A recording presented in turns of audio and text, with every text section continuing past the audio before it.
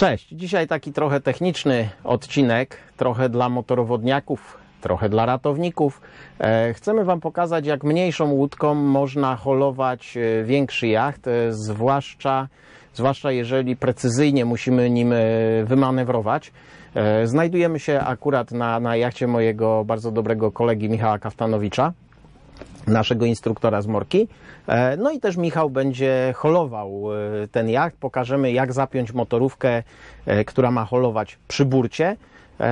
No i zobaczycie, jak to wyjdzie, że można całkiem śmiało mniejszą łódką holować większą i całkiem sprawnie nawet nią manewrować. A jeśli jeszcze tego nie zrobiłaś, nie zrobiłeś, zapraszam do subskrypcji naszego kanału. Tych filmów będzie, obiecuję, dużo, dużo więcej.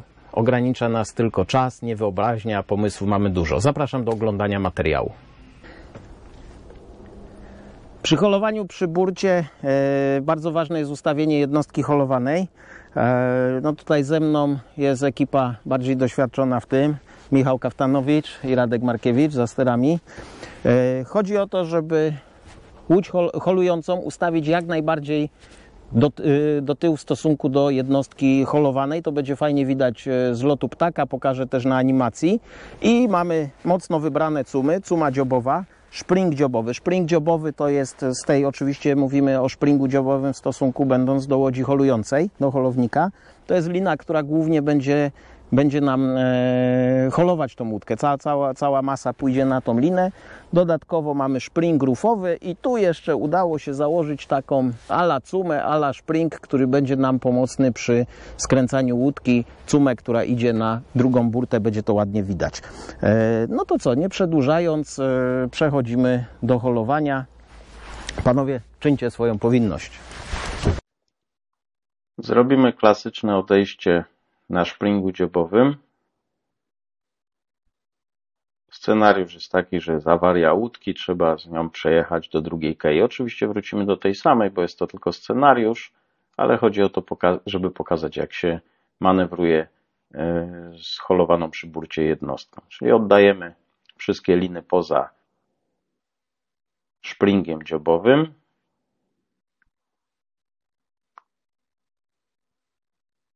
Na łodzi holowanej silnik skręcony jest w stronę nabrzeża, holującej, przepraszam, holującej w stronę nabrzeża, silnik wolno naprzód. No i łódź, cały zestaw nam się opiera na odbijaczu, trzyma nas spring. Bardzo proste odejście.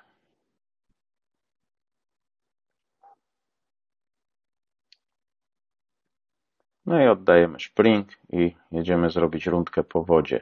No i teraz zacznie się zabawa, gdyż zestaw w jedną stronę naturalnie będzie łatwiej chciał skręcać. Zwróćcie uwagę, silnik skręcony w prawo pracuje wstecz, a zestaw jakoś cyrkulacji za bardzo nie chce robić, dlatego że opór dosyć duży stawia jednostka holowana. Celowo tutaj nie wspomagaliśmy się sterem na jednostce holowanej, też założyliśmy awarię steru. Oczywiście, jeżeli ster działa na jednostce holowanej, trzeba się wspomagać. Komendy powinien podawać sternik z jednostki holującej. Ale w drugą stronę, zobaczcie, wystarczy przełożyć tylko silnik i cyrkulacja już się zaczyna bardzo ładnie. W jedną stronę zawsze zestaw będzie lepiej skręcał. To samo ma miejsce na biegu naprzód.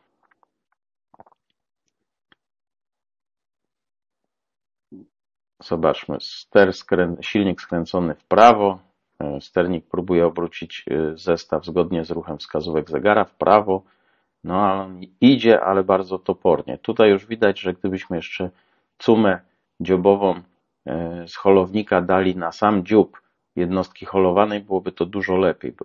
Dużo lepiej by ciągnęła ten zestaw w prawo. No po prostej nie ma problemu, sobie zestaw idzie.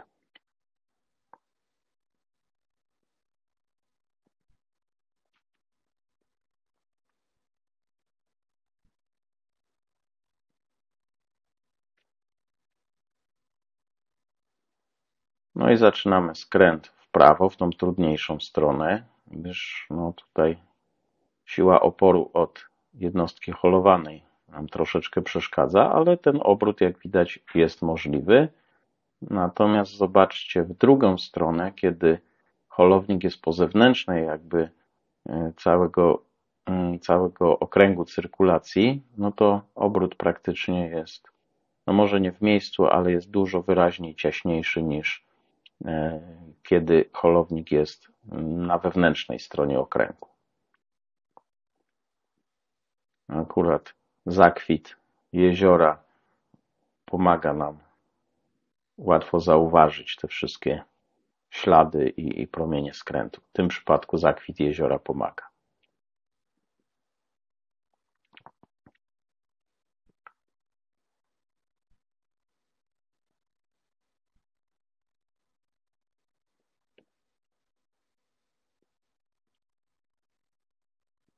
I znowu próba skrętu w prawo. Skręca zestaw, ale znacznie, znacznie wolniej.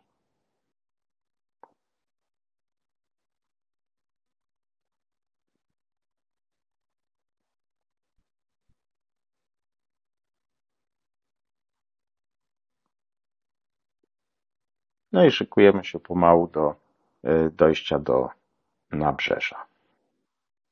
No i dojście na szpringu dziobowym. Podchodzimy powoli zestawem. Tutaj trzeba zwrócić uwagę na to, że no jednak masa całego zestawu jest większa niż sama masa holownika, więc warto sobie poćwiczyć mm, takie manewry z różnymi y, łódkami w różnych warunkach.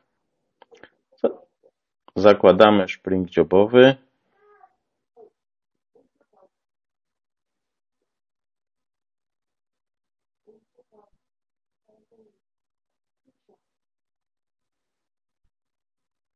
Łódka oparła się na szpringu dziobowym, znaczy w sumie na odbijaczu. Szpring dziobowy trzyma nas, żeby nasz zestaw, żeby zestaw nie poszedł do przodu. Ster, czyli silnik w prawo, no i bieg naprzód. No i to troszeczkę wolniej się będzie składać niż by to było na silniku łódki, która jest przy nabrzeżu. No ale zobaczcie, powoli, powoli e, idzie. Zakładamy pozostałe liny.